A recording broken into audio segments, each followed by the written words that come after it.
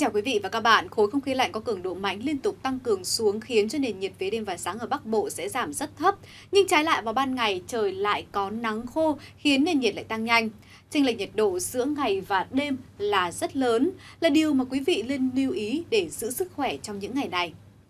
Đêm nay toàn miền Bắc trời mỏng mây, hiện tượng phát xạ nhiệt mạnh nên nhiệt độ tiếp tục giảm thêm.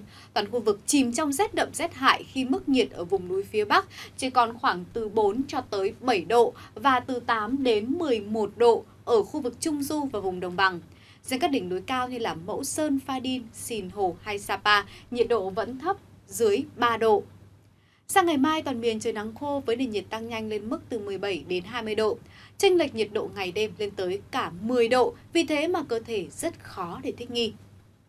Với miền Trung trong đêm nay và sáng ngày mai, khu vực từ Quảng Bình trở vào đến Bình Định vẫn còn có mưa, cục bộ vẫn có điểm mưa vừa mưa to với lượng từ 20 đến 30 mm, nhưng sang đến ngày mai thì mưa sẽ giảm hơn.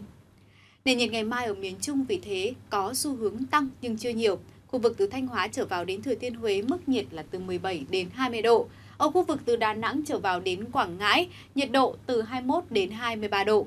Bình Định trở vào đến Bình Thuận trời có nắng nên nhiệt độ cao hơn. Ở phía Nam, đêm nay và sáng mai cũng là thời điểm khối không khí lạnh tác động khiến ở khu vực Tây Nguyên trời rét với mức nhiệt chỉ từ 13 đến 16 độ. Còn tại Nam Bộ, mức nhiệt cũng chỉ từ 21 đến 22 độ.